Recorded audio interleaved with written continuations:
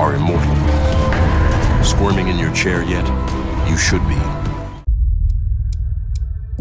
In the future, you and everyone around you will exist solely in a digital universe. You will open your eyes and live whatever fantasy you've selected from an infinite menu of options. You will be the hero of your own story. Every experience will be razor sharp and gorgeous, like the best smart drug ever invented.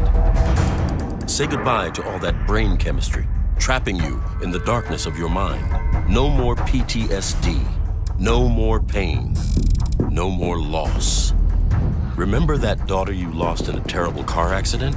Rewind the clock and imagine a new outcome. You can have the equivalent of a digital lobotomy. Not feeling well? Just reboot yourself. This is the future of your digital existence.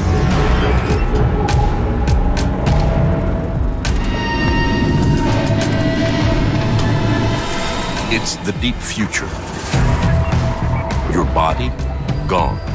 You're all computer, all the time. Your brain is way more powerful than even a billion supercomputers. Jobs, food, language, water, even traditional thought. All of humanity's building blocks, all that's done. And you are immortal. Squirming in your chair yet? You should be.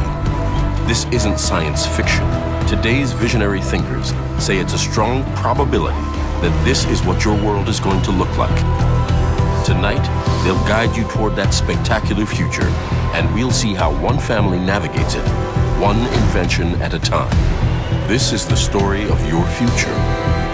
This is the road to year million.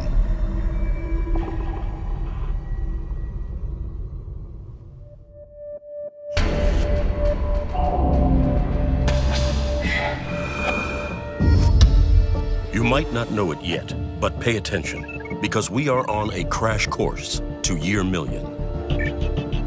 An epoch somewhere in the deep future where you can't even begin to imagine how technology will utterly and completely alter our notion of what it means to be human.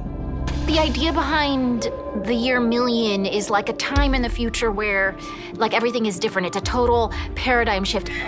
An idea of this future time otherworldly from what we understand right now.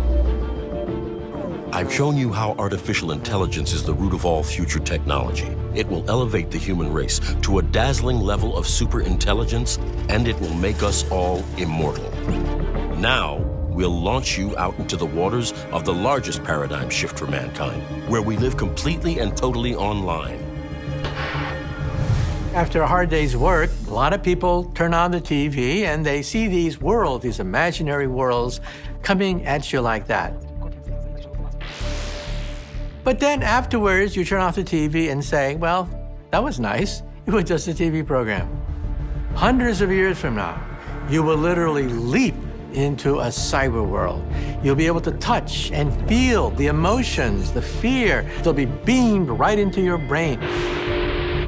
Where you can not just play video games, but all of a sudden you are the hero of your, of your story. You are the captain of the ship.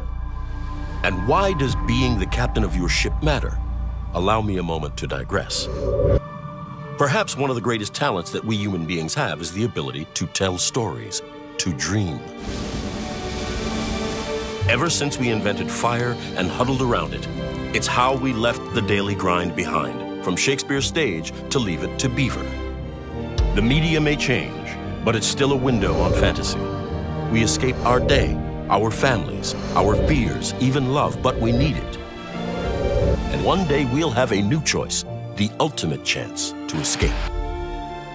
We can digitize our brain, digitize our persona, and upload it to the cloud where we forget about our physical body, but it's really our consciousness, our memories, who we are.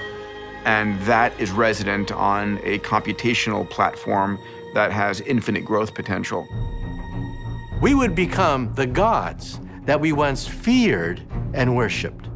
I mean, could my avatar just be me, but without all of the anxiety and insecurity. Like, I think that would be great. She could, like, lose a few pounds and all that stuff, you know, typical lady crap. But I mostly just want her to, like, sleep better at night and, like, not worry that she, like, offended the guy at the deli by, like, ordering her coffee weird, you know? That choice to play God, or just someone who doesn't tick off a barista, in some futuristic microprocessor is hurtling toward us faster than you can imagine. And we are already smack in the middle of a soul-rattling, mind-bending revolution, where the ultimate destination will be plugging in and dropping out. We're talking about a future where we are no longer shackled by all of the fickle quirks of brain chemistry. It will be an escape from reality so pure. I can't see anyone not jumping on board that speeding digital train. But let me take you through it, step by digital step.